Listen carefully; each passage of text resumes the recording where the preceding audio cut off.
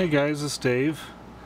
Uh, you know, I've been studying my circuit and looking at it real close and thinking about what's going on here with the magnets and the interaction with the coil and what the coil's doing to the transistor and the charging circuit.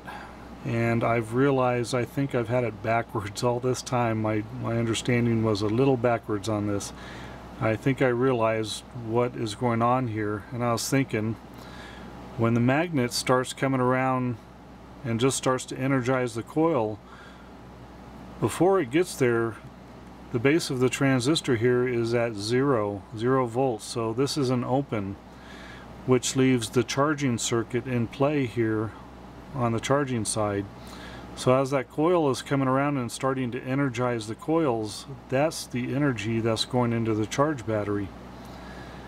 I believe that's what's going on until the trigger coil develops enough energy to trigger the transistor around 3 volts and then it shorts this part of the circuit out and turns the drive coil into an opposer for the magnet and pushes the magnet out of the way until the charge is gone and then repeats that cycle every time the magnet comes to pass.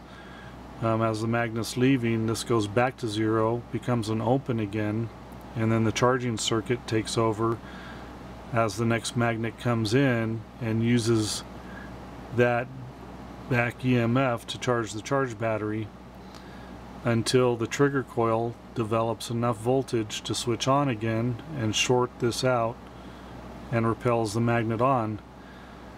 And then I was thinking about the timing the uh, resistance how that comes into the into play for the transistor the more resistance you have the longer it takes for this to get the potential it needs to trigger and short out. So you're delaying the effect and getting more capture. But on the on the other hand you're also taking away its ability to drive that magnet out of the way and it's going to slow down. And that's what I've been seeing on the oscope. As I add resistance it does some weird things to the base of the transistor and eventually it develops uh, multiple pulses and this just cannot work effectively and I'm not getting the charging. But when I get a nice clean signal so I think there's a balance here for the resistance on each circuit and I think it also comes into play of how many turns you have on the coil uh, what gauge wire you've used on the coil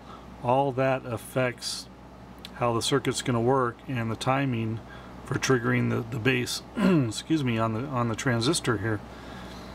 So I've been watching the oscope and thinking about this and I believe I'm starting to understand what's going on here and uh, it's starting to make sense for me here. I, I, hope I'm on the right track so if I've got it all wrong please correct me because uh, I don't want to be thinking wrong here. When I do my next video I want to have the oscope on here and uh, show exactly what I'm seeing uh, especially on the base here. As I increase the resistance it does some wacky things and I get some deformed waves and then it turns into multiple pulses and just kind of drives this circuit crazy.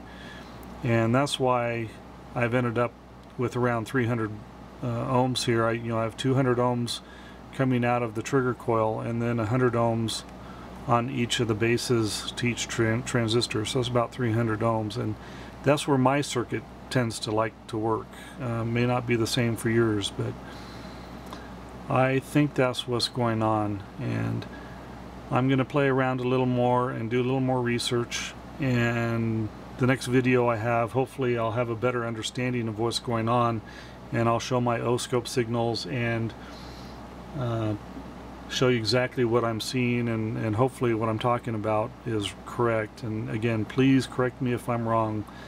Um, I don't want to be on the wrong track. You know, all this time I thought I understood what the circuit's doing, but I believe now I'm getting a better understanding. So uh, I'll keep plugging away and learning, and hopefully get a little bit better understanding of, especially this tuning part, because it sure does some strange things if you don't have it tuned right, and that resistance plays a big role in getting the interaction for the transistor and switching in time for the magnet as it passes by. And I'll get that down in, in the next video. Hopefully I'll have a better understanding be able to explain what's going on but um, this is what I've got so far and I thought I'd share it with you. So again if I'm wrong please correct me. I, I want to get this right.